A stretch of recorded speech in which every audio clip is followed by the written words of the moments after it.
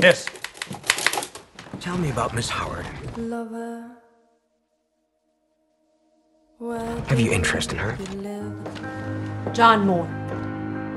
Hello. Hello. In the sky, in the clouds, in the ocean. Is the doctor home? Last I saw, he was off to the park with Miss Howard. Actually, I came here looking for you.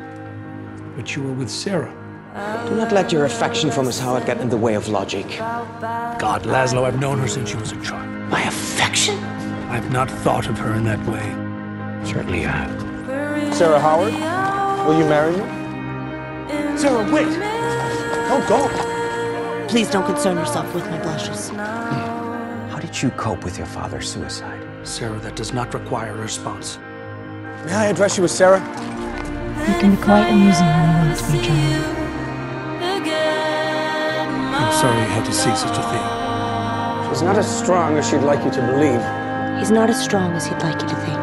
All I'm ever gonna do is send shivers down that spine of If I thought you had a sincere bone in your body, I might consider your offer. lover.